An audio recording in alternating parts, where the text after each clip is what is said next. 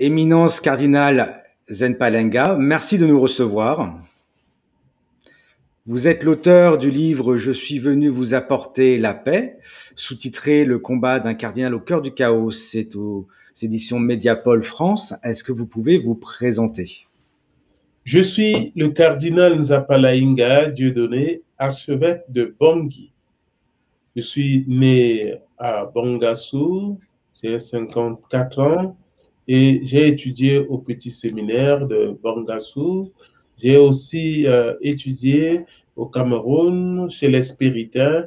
J'ai fait mes études en théologie en France au Centre Sèvres pour terminer comme missionnaire à Marseille pendant huit ans et j'étais rentré au pays pour pouvoir exercer le service de responsable régional parce que je suis spiriteur.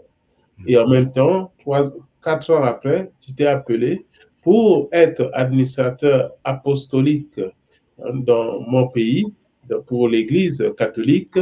Et en 2012, eh bien, le pape Benoît XVI, après de moi, un évêque de l'archidiocèse de Bangui, ordonné le 12 juillet 2012. Et depuis le passage du pape en 2015 pour la porte sainte à Bangui, en 2016, j'ai été créé cardinal et maintenant euh, je suis au service de mon peuple. Ce livre a été écrit à la première personne. Qu'est-ce qui en a motivé la rédaction? Ce qui a motivé la rédaction, c'est que le disciple du Christ doit se mettre sur les pas du Christ lui-même. Jésus-Christ est celui qui est venu apporter la paix. La paix, c'est Dieu lui-même. Dieu, qu'on appelle les Juifs, appelle Yahvé. Si vous lisez Exode chapitre 3, verset 14, eh bien, il y a le mot Yahvé. Et ce mot intraduisible, et que pour nous, les chrétiens, eh bien, ce Dieu-là s'est incarné en Jésus-Christ. Et vous voyez bien, le jour de sa naissance, les anges chantent paix sur la terre aux hommes qui l'aiment. La paix est venue maintenant sur la terre.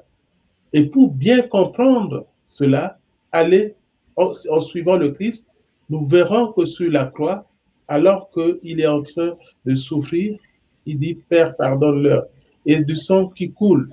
Saint Paul a eu la formule magique en disant des chrétiens, des, juifs, des, des, païens des juifs, il en fait un seul peuple, c'est la paix. Eh bien, pour moi, dans l'épreuve que le Christ a vécue, il apporte la paix. Il dit, je vous laisse ma paix après sa résurrection. Je vous donne ma paix. Tous ceux maintenant qui se disent amis ou se disent disciples de Jésus sont investis à, maintenant à sa suite. Pour, ils peuvent se dire, je suis. Nous sommes des petits Christ.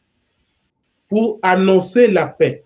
C'est à ce niveau que je me suis inscrit en disant, je prends mon bâton de pèlerin à la suite du Christ pour annoncer la paix au cœur du chaos. Et au cœur du chaos, vous y avez été. Je vais simplement lire une phrase que l'on peut découvrir dans les premières pages de votre ouvrage. J'avais chassé ces rebelles avec, simple, avec un simple chapelet. Mon heure n'était pas encore venue. Est-ce que vous pouvez nous commenter cette phrase qui est, pleine d'espoir et aussi, par sa fin, pleine d'effroi Votre heure n'était pas encore venue. Eh bien, je pour comprendre cette phrase-là, les rebelles sont rentrés dans la ville le jour des rameaux, un 24 mars 2013. Le lundi 25 à 12 heures, ils étaient à l'archevêché. Ils sont venus avec armes. Ils étaient 25 dans des pick-up avec euh, des, armes légères, les, lourdes aussi. Moi, j'ai ouvert la porte. Ils sont rentrés. Ils voulaient s'installer dans la maison. J'ai dit non, venez avec moi. Ils sont venus et ils sont rentrés dans le paloir. Tous. Ensuite, je leur ai dit, je suis le je suis l'archevêque de Bangui. Je suis ici pour annoncer la bonne nouvelle du Christ. Aussi aider au retour de la paix. Je me suis présenté, j'ai décliné la mission que euh, j'assume ici. À la fin, j'ai vu, avant la fin, j'ai vu un jeune qui avait des gris-gris sur lui. Moi, je lui ai dit, mon ami, je te vois porter les gris-gris. Moi aussi, j'ai un gris-gris. Et le mien, j'ai sorti mon chapelet, je l'ai remué en disant, ça c'est mon gris-gris. Entre ton gris-gris et mon gris-gris, Je ne sais pas qu'est-ce qui est le plus fort, mais je te garantis, c'est mon gris-gris. J'ai remis mon chapelet dans la poche. En remettant mon chapelet dans la poche, j'ai ce mot dit aux uns aux autres, partez. Maintenant, je ne veux plus que le sang coule ici, vous devez partir. Ils voulaient se dîner, il n'y a pas de discussion.